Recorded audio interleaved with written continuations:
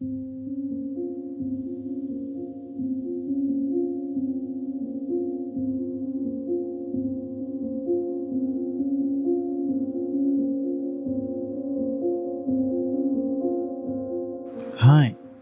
I am the Vicar, and welcome.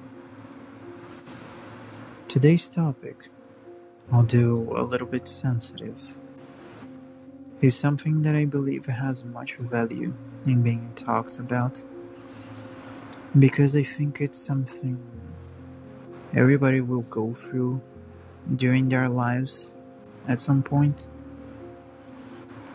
or they will at least experience it in some aspects of their lives. And what made me want to talk about this is the fact that I've gone through this again recently. Only this time around, I managed to deal with it way better than what I did back when I was a teenager. Which is great, right? shows some improvement. All the years weren't in vain and all that. And the stark difference between these two approaches made me want to elaborate on the topic for a little bit. And I do this in hopes that in sharing my experience, I will help you think about this topic in a more open, candid way. It's, you know, rare enough that people are willing to talk about topics that are so uncomfortable as this. And I believe that these feelings of inadequacy, if left unchecked, they can grow into other very powerful feelings that are capable from keeping you from pursuing what you want. And as I am a strong advocate that you should pursue what you want, I thought it would be cool to share my perspective on things. Also, I will try and convince you that feeling inadequate isn't a reason not to feel hopeful. and I'll explain what I mean in due time. Before I do that, in order for you to understand where I'm coming from, I will need to tell you a little bit more about myself and actually tell you the story of how was that I felt inadequate for the first time as an artist. I've always been interested and passionate about drawing since a very early age. I remember my mom keeps some of my earliest drawings that I made when I was three or four years old. She keeps them stashed away in neat little plastic bags. She says it's to keep the the paper from aging too fast. I think it's cute that she does this. So, we're talking about before I was five, right? Also, when I was a kid, I had this little friend group filled with other little boys who were also very much interested in drawing. We would meet often and we would share our fan art with each other and share drawing tips, which was something that really helped me fuel my passion for art early on in my life.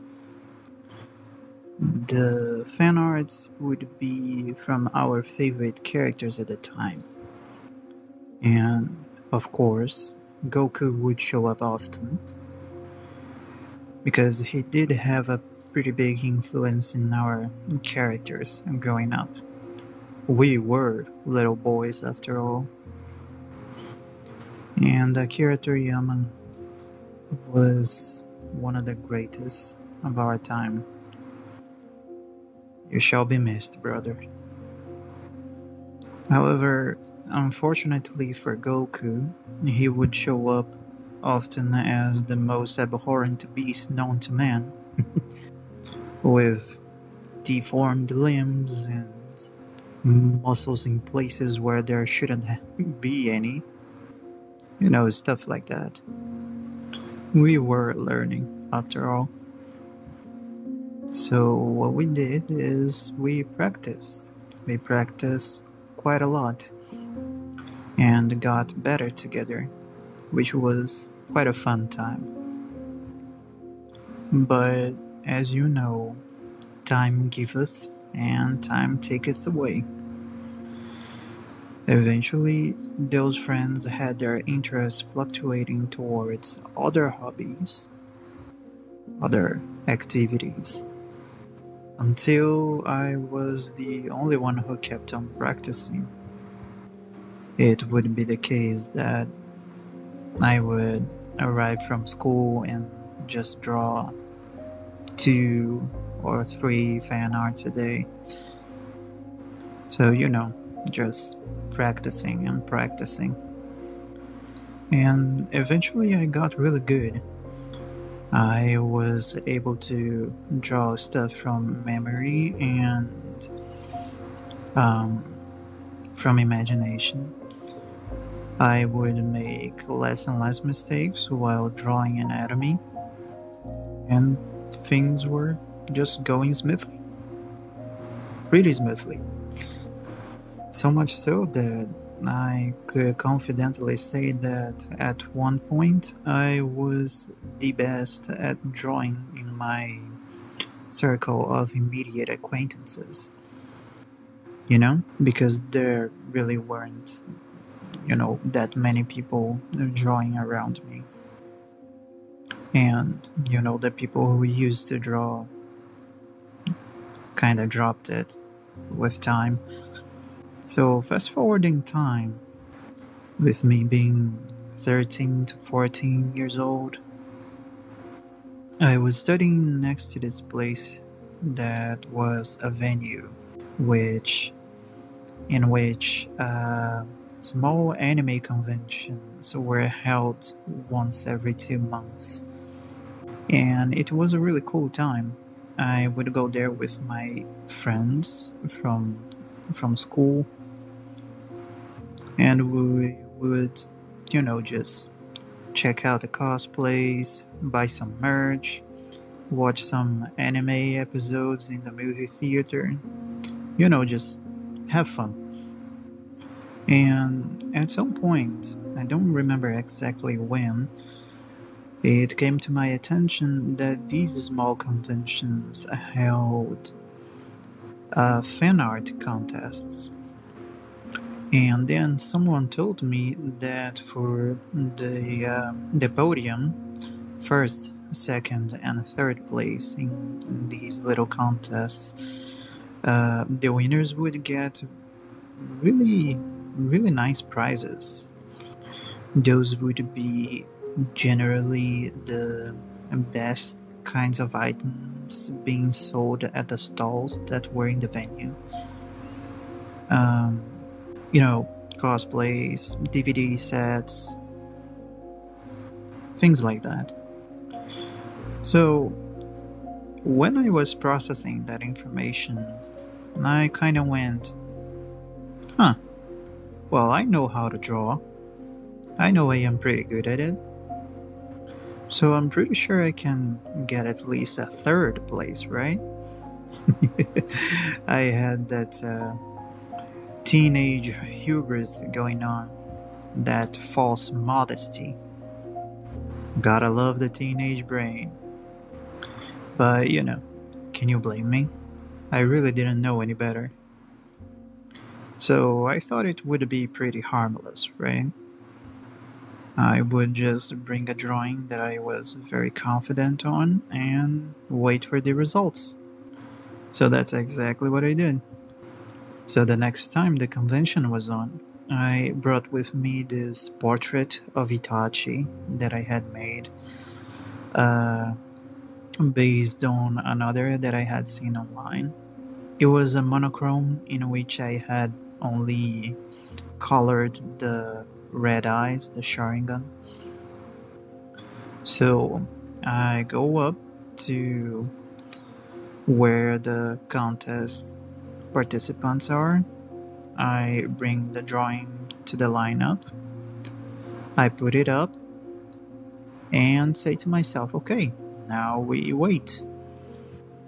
And when the results came out, I hadn't even make, made it close to third place. So I thought to myself, oh, okay, that's weird. Surely, surely there was a mistake, right? Something went wrong. Let me try, let me try this again. So, for the next convention, I prepared another drawing. And I was very certain that this one was going to work. So, when it was time for the convention again, same deal. Went to put it in the lineup, and I went on to wait again. This time, though, I remember being a little bit anxious. But I was doing that inner pep talk, you know? I was like, nah, man, this time, this time I'll certainly get something. And again, didn't even make it near third place. Um, at that point, I was acting a little bit like the fox, the story about the fox and the grapes. You know the one? And I started thinking things like, oh, who needs this, anyways? you know, kind of trying to minimize it. And this is actually a pretty common response to a situation like this when you think about it. Because uh, when you're faced with these types of unavoidable truths that can shake your views, the first thing you try to do is either ignore it or just run away from it. You know, just so your brain doesn't have to adapt that to that new info that you just got. And what was happening at the time was that I didn't want to face the fact that I wasn't as good as I thought I was. But you know, no matter how you look at it, the truth remains the truth. You can't outrun it right? So eventually, me thinking about this too much added up to the reasons why I stopped drawing for a time. I felt inadequate because I was so sure that I had this thing that was special, and suddenly I am exposed to people who not only can do this very same special thing, they can do it far better than I could at the time. And, you know, eventually I would admit, and this is the right expression, right? I would have to admit that the other drawings in the contest were way better than mine and this kind of shattered my ego. Since I was a teen and I didn't know any better. Uh, but I will say that discovering that you aren't really special in the slightest will pull the rug from under you at just any age. and the feeling that remains from that discovery is something crippling that really nags at you whenever you're trying to get back into what you were doing in the first place. You think things like, oh, why bother when there are people who are so much better than me? Um, and being really honest with you, I don't think I've ever gotten over this completely because it stayed with me for the longest time. Like, there were even the times when I'd believe that the effort wasn't worth it at all, which is a foolish thought, right? But of course, hindsight can't help your past self. Hmm. And the ways that I will still feel inadequate nowadays still have something to do with people being better than me. Uh, recently, it happened because I found this Japanese illustrator, right? The guy is just amazing. His art is mesmerizing, man. You can't really take your eyes off of it. And the way that these things will work in my head is if I see an artist that I already know for some time and that I admire post something, I will look at it, find it cool, you know, maybe even get a little bit inspired. But when I find someone who I had never seen before, and I see that they have this huge presence that they are incredibly good, and especially if they have a design philosophy that is really near to what I want mine to be, I will be like, oh no, man.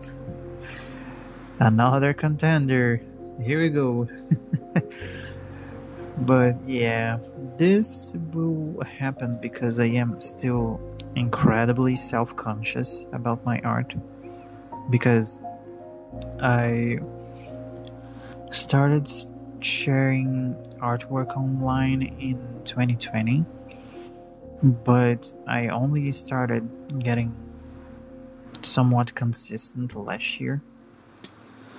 And well, I say consistent, but you know, at least I've posted last year, right? Um, so what happens is that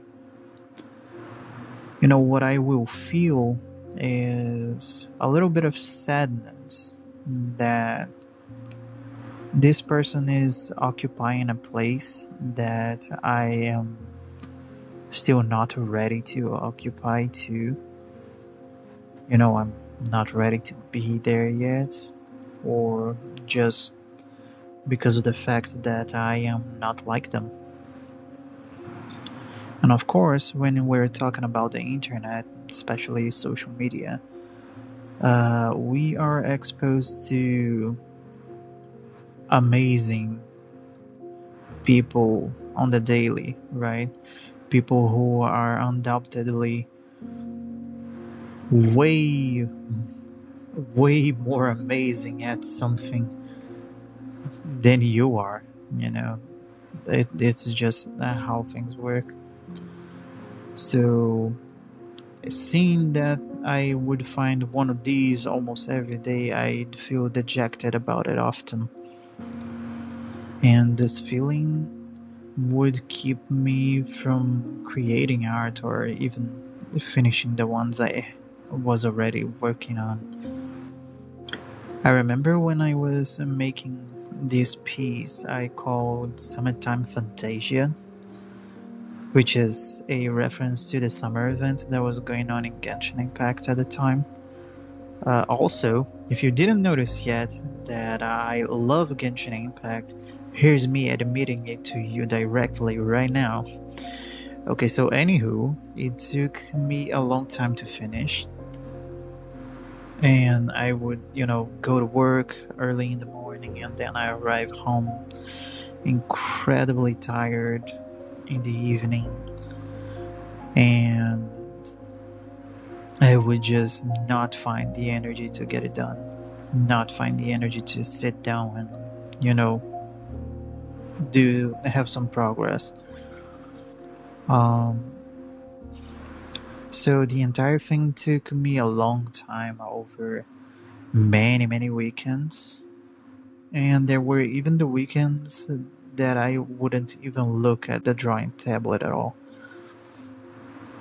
And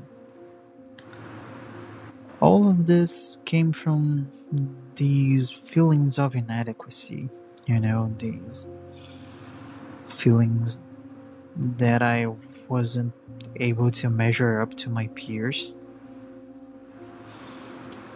All these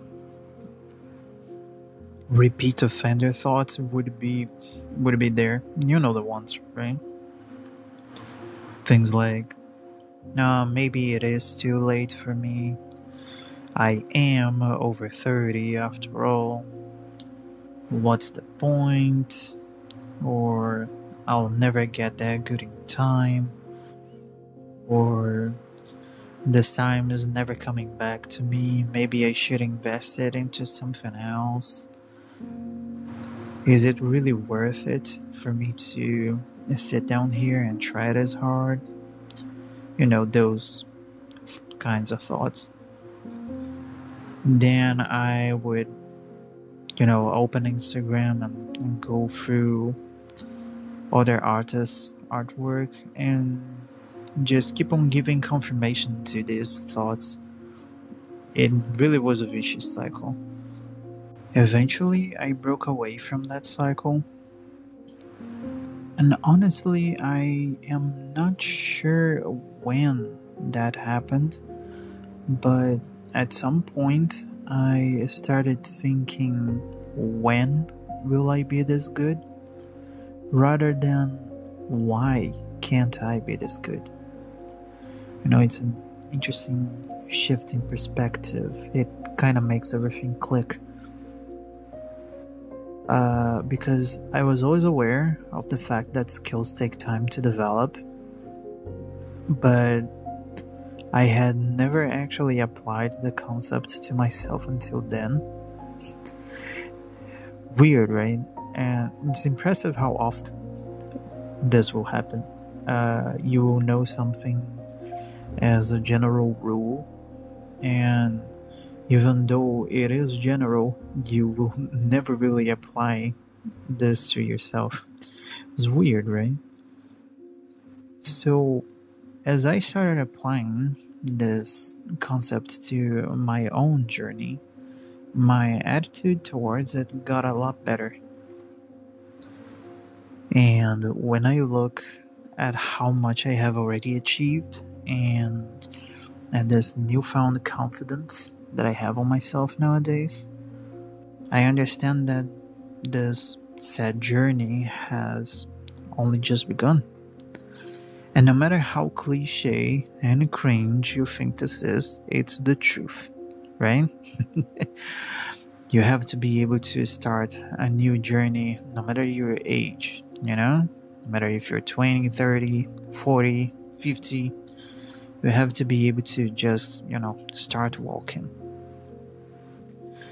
Uh, so I find confirmation in this conclusion that I just talked about with you and the journey of my favorite artist, the Cecile. She she's just amazing. She has been good for many years, which you know you can confirm by just scrolling down on her YouTube page and seeing her speed paints, the earliest ones. Even her earliest ones are far above my current level, at least. And I have been practicing, man. I, I really have. Uh, and you know, she's just great. She was great back then already, and that means that she has been on this journey for far longer than when she posted these earliest videos, which would be, I don't know, about seven years ago, maybe 10. So, you know, uh, sometimes the invasive thoughts win against, you know, the mental health barrier that we put on our brains, and I still kind of start to think that I won't ever get to where the people I admire are, never get to their level. But at least now I know that this is a little trick of the brain to try and keep me from putting in the effort because the brain will always try to choose the road of less effort possible to preserve its energy. And talking about the least amount of effort possible, let's talk a little bit about the AI problem because this is a technology that can definitely make you feel inadequate and undervalued if you're a creative. Um, there is this artist and YouTuber that I follow that I actually really like. His name is Adam Duff. He has talked a lot about AI last year and he has been an artist for a pretty long time. I think he's a little bit over 40. So he has had, you know, I believe over 25 years of experience in, in the industry. So he went through some major technological shifts. Um, and he talks about how he felt inadequate at a time where 2D animation shifted into 3D animation. And he compares that to what is going on with AI generated images. And, you know, of course, the shift in technology is in no way comparable because AI is leaps and bounds uh, more advanced than going from 2D to 3D.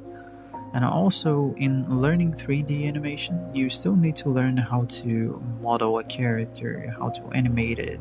You know, you need to learn uh, the basics of cinematography, you have to learn uh, a lot about angles. So, you know, animating 3D is actually learning a skill.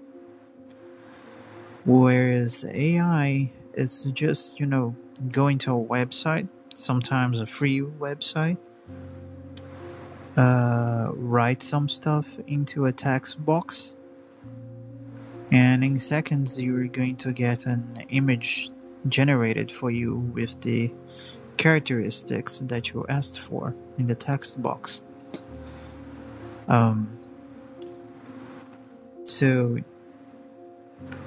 even though the comparison is a little bit off, I do believe that the same logic can still apply because uh, it's more about the sentiment, right? It's more about how it feels.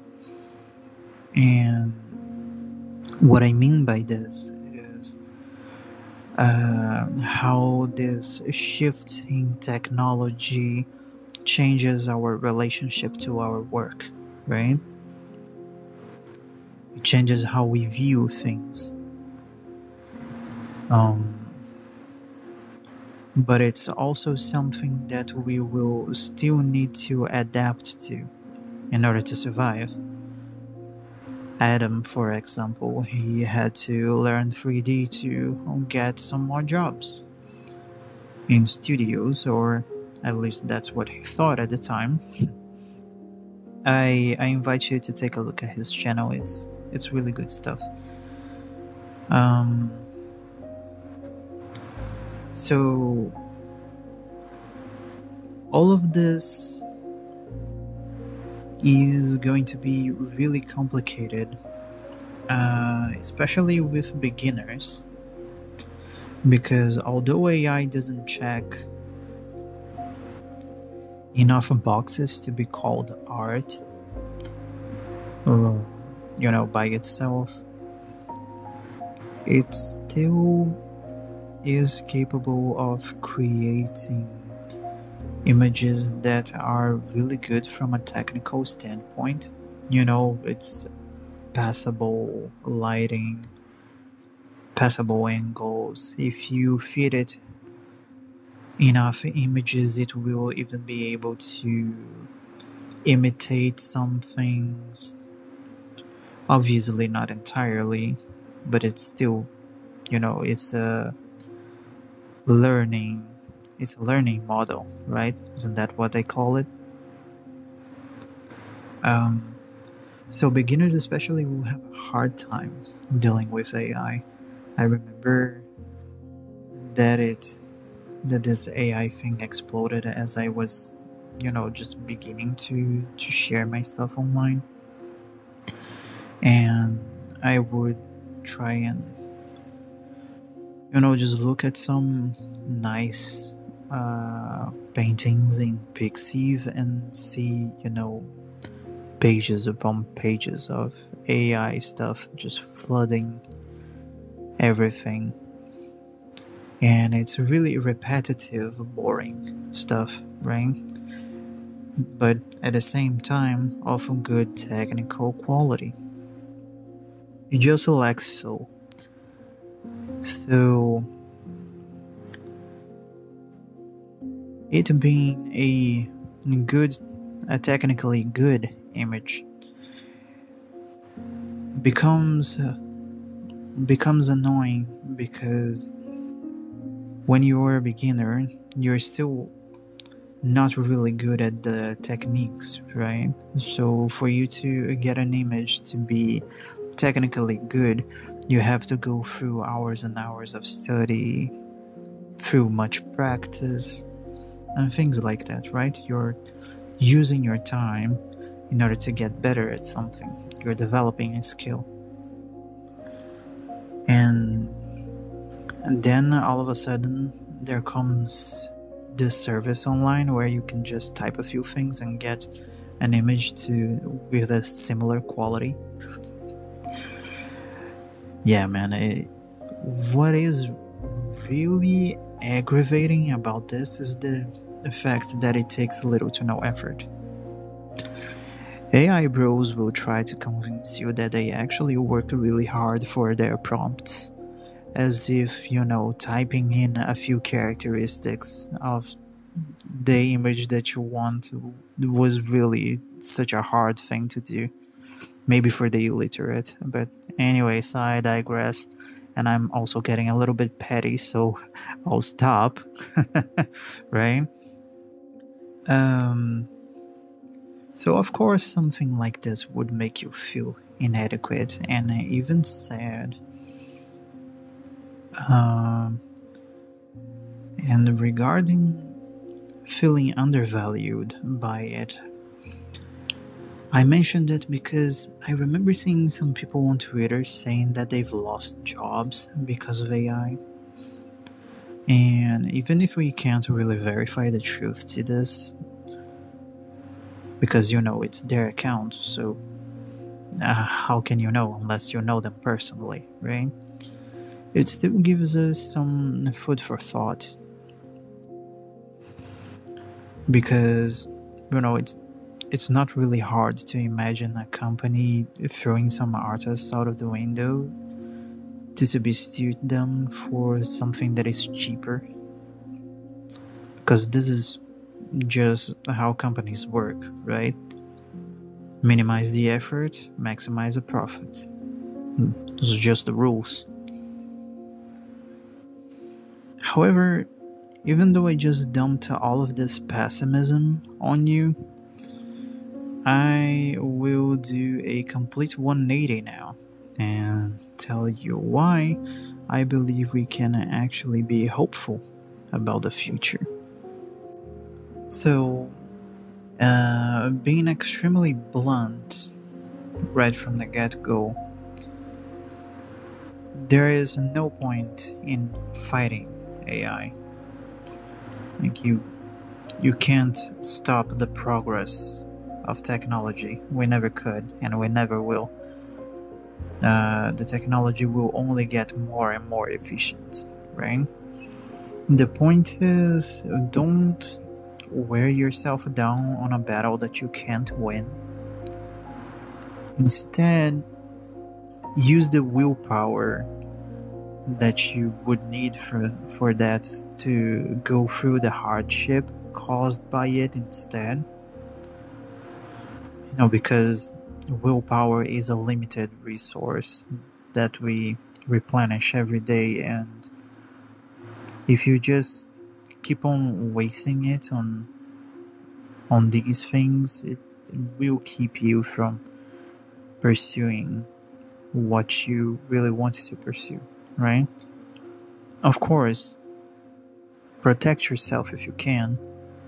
I am aware that there are services online like Nightshade that you can run your art through and it will install some code that poisons the AI models and then they can't really generate anything good looking from what you make. Uh, I'm not sure how it works, but you know, if you trust the, those things, you should absolutely make use of them. And you know how humanity works, right? Eventually, someone somewhere will create something terrible using AI that will just, you know, scandalize the world and just go too far, making the technology be regulated into oblivion. And even if the technology will never really die off completely, I believe that we can find solace in the fact that art has always existed and, you know, if it has been with humanity since forever, there's a reason for it, right? We need it. After all, communication is what being a human is all about, right? From the cavemen to the great masters of old, right on to us and into the future. Art will always be there.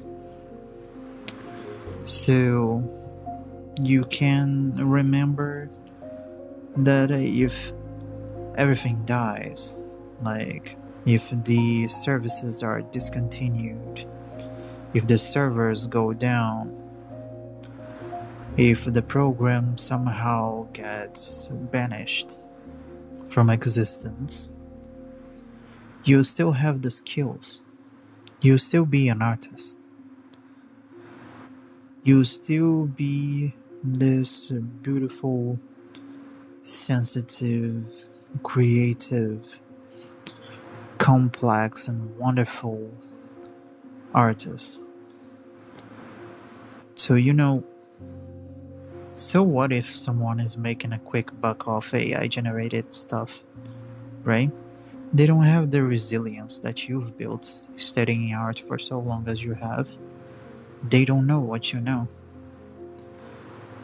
And so what if AI bros have been delivering prime cringe to your DMs? They don't have what you have. And they never will. Because they do not wish to develop it, right? They want it easy. So keep your chin up. Because in the end, the machine is just a tool and you can't pour your soul into anything through the circuitry of a machine. That's why drawing tablets and pen displays require direct input and skill. Don't don't let a machine define what you are and what you aren't. You know, just keep on working on yourself and making everything that's immediately immediately around you more beautiful okay so that's it for ai uh, when it comes to other artists work and prowess, there is actually a little something I've learned with age and also a few insights from people who are wiser than me, which is you shouldn't take your own measure through other people's ruler. What I mean by this is that you can't really expect to be as skilled with four years of practice as someone who has been on the same path for 15 years. Right? Building skill takes time. What happened is just that they have a good head start on you. So you're basically looking at yourself in a few years from now. Not only that, they've probably gone through some of the same troubles that you are going through right now. You know, some of the same insecurities, some of the same challenges, some of the same trials and tribulations. You just don't know about it because well, an artist's journey to self betterment is usually a solitary one. We each suffer in our own way. Um, it honestly depends on the whole entirety of our zeitgeist. So, whenever it seems difficult for you to be unbothered by by this uh, this difference in experience between you and an artist that you admire or that you've seen online. Well, I would advise you to take the time to look back at your own journey and see how much you've improved. For example, what can you do now that you couldn't before? Hmm? Tell me in the comments if you made it this far in the video. Also, what's most important in nullifying those feelings of inadequacy is to keep them from stopping you, to avoid them holding you back and keeping you from pursuing what you want. So, we are all going to go through these feelings at some point.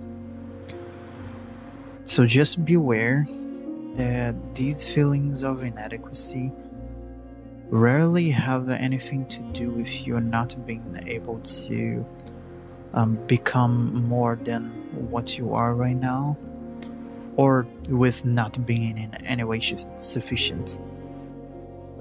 Um, instead, the reason is usually because you're still not what you want to be. But honestly, isn't that just the way things are? Aren't we the type of people who always wants to be better than what we are right now. The type of people who always want to grow. Aren't we the type of people who are always uh, learning something and adding to how we express ourselves? So try to wear this like armor, like Tyrion would say, right? We creatives are way too unique to fit in perfectly, anyways. so, you know, we can't really be more of the same. So, be inadequate. Feel different. Acknowledge your imperfections and use them to fuel your movement forward. Understand that you have a long road ahead of you. Understand that if you keep putting one foot in front of the other, you will get there. Alright? Have patience. I know it can be much to ask nowadays, depending on your situation, but it's still necessary. And the good thing about it is that patience is actually a skill, meaning you can learn to have patience. Alright? So, you know, take the time in your journey to get to know yourself a little bit better.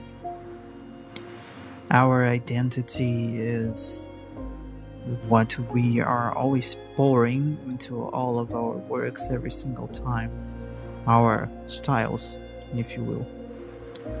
So, understand what makes your identity truly yours. Once you do, never lose sight of it. Alright? Okay. That's all I wanted to talk about for today. I hope you do take care of yourself, and I'll see you again soon. Bye bye.